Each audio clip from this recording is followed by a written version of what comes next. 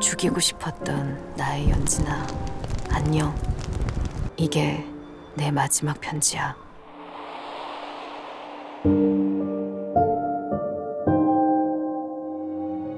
날 거절하면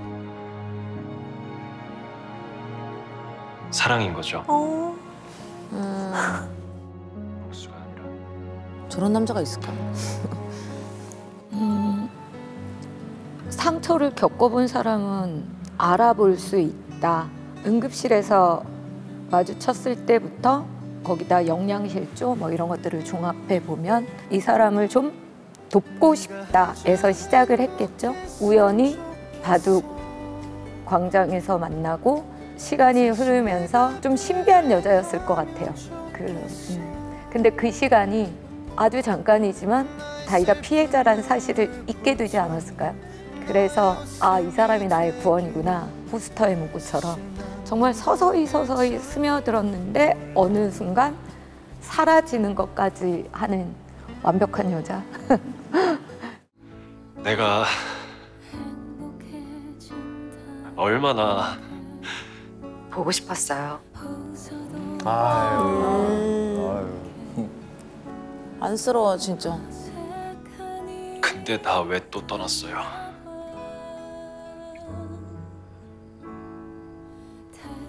복수가 아니라 사랑이었나 보죠 저런 거 그냥 생각하면 써지시는 거예요? 네, 생각하면 생각이 나요. 아니, 나 진짜 억울한 게 김은숙 대본 받고 뭐 오글거려서 막 어쩌고 저쩌고. 근데 내 대본 이제 받으면 각오해야 되는 거 아니야?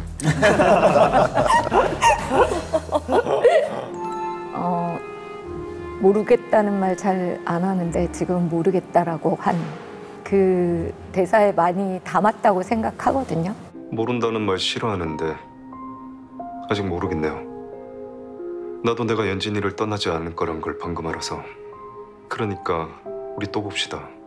연진이의 남편으로서 여야만 쓰임이 있는 거죠 동은이에게 연진이를 떠나면 동은이를 볼 더 이상의 이유가 없으니까 본인 마음을 그때는 확신을 못했다가 삼각김밥 먹을 때 내가 이 여자 좋아했구나 이런 거 확신하지 않았을까 그래서 담백하게 떠나는 그 나이스함과 재준이를 밀어버린 개 혜정인 재준이 사랑한 것 같아요. 맞죠, 감독? 아, 감독님. 작가님. 맞아, 저는 사랑했다고 생각해요. 그 재준이가 하는 모든 말이 나쁘잖아요. 그래도 항상 재준이 옆에 있어요. 혜정이가 끝까지 기대하고 들어올래? 에 들어간단 말이죠. 그 거품 속으로. 애도 키운다고 하고. 너 여덟 살에 키울 수 있어?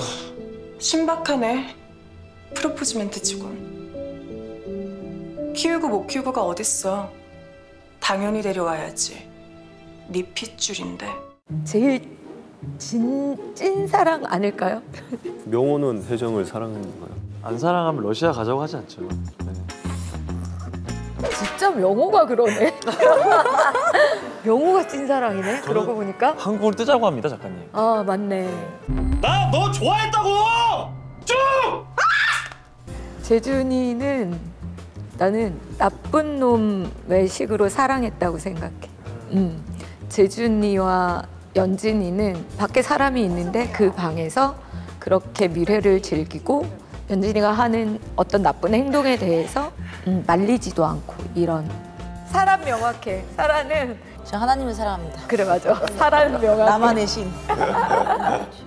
어떻게 됐어요 우리? 파트 2 대박 났나요? 조금 대박이 덜 났으면 넷플릭스를 클릭해 주세요. 감사합니다. 오늘도 넷플릭스